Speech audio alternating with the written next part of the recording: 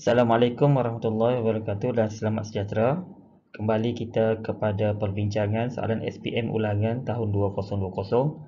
Ah, soalan nombor 11 iaitu tajuk kebaran kalian bahagian A.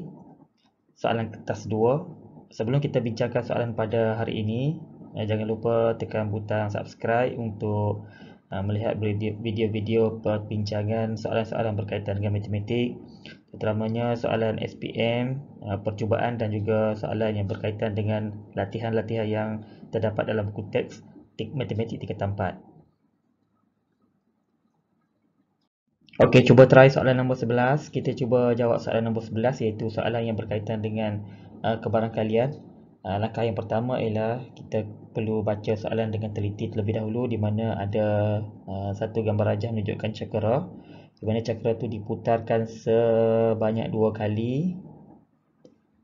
Okey, setiap putaran tu akan dicatatkan kesudahannya. Okey, soalan yang pertama ialah uh, calon diminta untuk menyeraikan ruang sampel.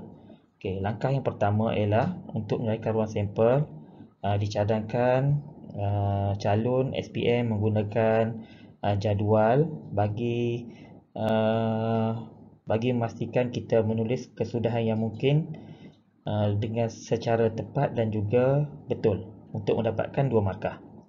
Okey, jadi langkah yang pertama ialah kita boleh buat dalam bentuk putaran yang pertama.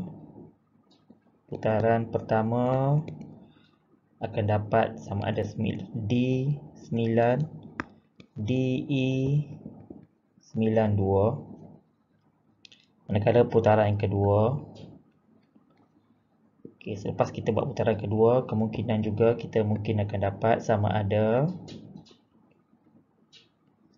D E 9 dengan 2.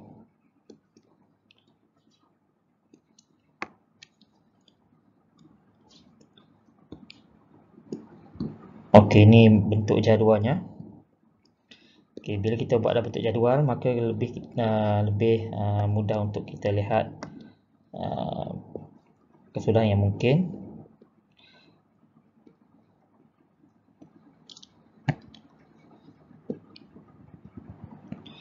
Okey, jadi sekiranya putaran yang pertama murid akan dapat uh, D. Kita tulis dengan color biru ya. Okay, D, D, kemungkinan murid akan dapat D, D. Kemungkinan juga murid akan dapat DE. Kemungkinan juga akan dapat D9. D2. Okay, sebenarnya murid juga mungkin akan dapat ED. EE. Maksudnya putaran pertama dapat E, putaran kedua dapat E. Okay, mungkin juga dapat E9, E2. Sebenarnya 9D, 9E, 99 92 Okey juga mungkin dapat 2D 2E 29 dan juga 22 Okey jadi apa yang terdapat dalam ruangan kesudahan sekarang ni? Okey nombor-nombor ataupun uh, kesudahan yang mungkin yang terdapat pada ruangan jadual ni yang ni dinamakan sebagai kesudahan yang mungkin. Jadi kita boleh uh, senaraikan ruang sampelnya dalam bentuk tanda tanda S sama dengan okay, jadi kita boleh senaraikan dia sebagai E sama dengan uh, S sama dengan minta S sama dengan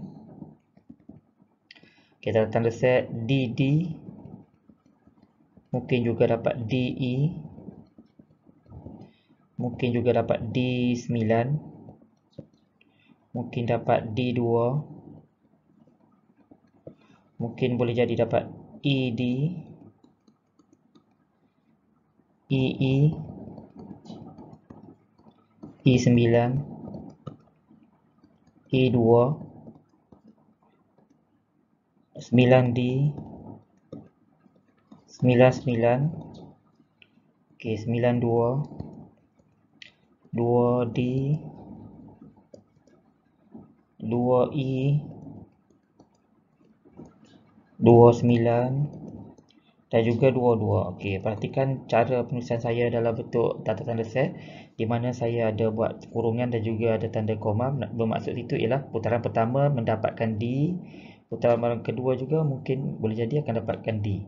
okay, sama juga dia mungkin dapat 22 29 D9 dan seterusnya jadi bilangan ruang sampel dia bila kita hitung kembali dah ni maka ruang sampel dia akan dapat bilangan ruang sampel NS sama dengan NS sama dengan 16 Seterusnya kita tengok soalan B1 okay. uh, uh, Tadi kita dah jawab soalan A uh, okay. S sama dengan seperti yang disenaraikan okay. Seterusnya kita tengok pada soalan Keyword soalan menunjukkan bahawa uh, Dengan menyeraikan semua kesudahan Cari hitung, hitung kepada kalian Penunjuk itu menunjukkan Sekurang-kurangnya sekali Nombor perdana okay. Jadi kita kena kena pasti Bahawa salah satu Uh, petunjuk itu menunjukkan nombor perdana. Okey, kita yang pertama kita kena tahu dulu nombor perdana, ciri-ciri nombor perdana. Nombor yang hanya boleh dibahagi dengan diri dia dan juga satu saja. Okey, jadi sini kita boleh tengok pada senarai yang pertama ialah 99. Okey, jadi 99 ni bukan nombor perdana. Jadi kita tak boleh ambil 99. Okey, 99 tak boleh ambil. 92. 9 dengan 2, 9 nombor ganjil, 2 ialah nombor perdana, maka kita boleh ambil 92. Okey, 9E kita tak boleh ambil sebab dia tiada nombor perdana, maka tak boleh ambil 9E. 9D juga tak boleh ambil. Okey, 29, 29 kita boleh ambil sebab 2 ialah nombor perdana. Walaupun 9 ialah nombor ganjil, kita masih boleh ambil sebab dia nak sekurang-kurangnya sekali.